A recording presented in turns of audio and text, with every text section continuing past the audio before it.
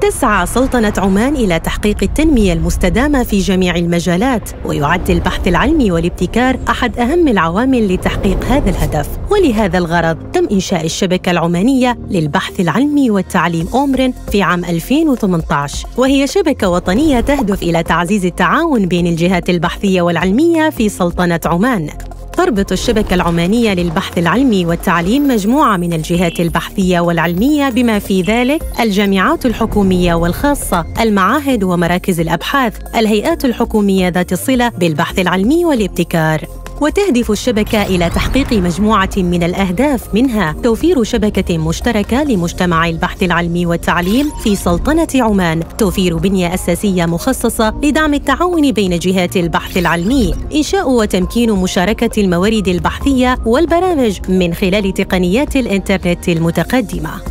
وقد حققت الشبكة العمانية للبحث العلمي والتعليم مجموعة من الإنجازات منها الارتباط مع 90% من الكليات والجامعات والمعاهد. وبلغت نسبة المستفيدين من الخدمات أكثر من 85% في أكثر من 50 موقع في السلطنة.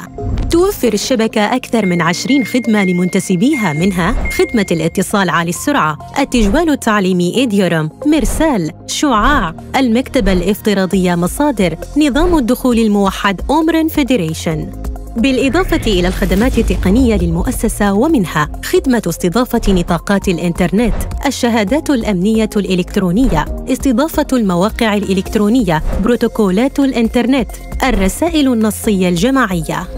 وتعمل الشبكة برؤية واضحة لتمكين الابتكار والبحث العلمي والتعليم في سلطنة عمان وذلك من خلال التعاون الاستراتيجي المحلي والدولي بين مجتمعات البحث العلمي والتعليم.